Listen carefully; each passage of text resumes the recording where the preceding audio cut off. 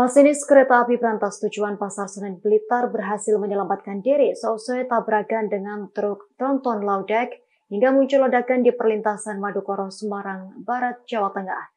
Dilaporkan peristiwa terjadi sekira pukul 7 lebih 44 menit waktu Indonesia Barat pada Selasa 18 Juli 2023. Sang masinis langsung melompat dari lokomotif kereta api berantas hingga menerobos api yang berkobar. Video masinis melompat dari lokomotif dikabarkan akun Twitter at Alvendi underscore Prasetyo. Informasi tersebut dibenarkan akun resmi Mina at Unchman yang merupakan sepupu masinis kereta api berantas. Dari video masinis juga tampak menerobos api yang berkobar. Manajer Humas PT KAI Daop 4 Semarang, Ikvan Hendri Wintoko membenarkan informasi tersebut. Selesai kecelakaan masinis dan asisten dibawa ke klinik kesehatan. Keduanya diperiksa secara menyeluruh baik fisik maupun psikis.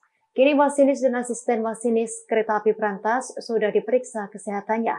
Keduanya dinyatakan fisik tak mengalami luka. Terima kasih sudah nonton. Jangan lupa like, subscribe, dan share ya.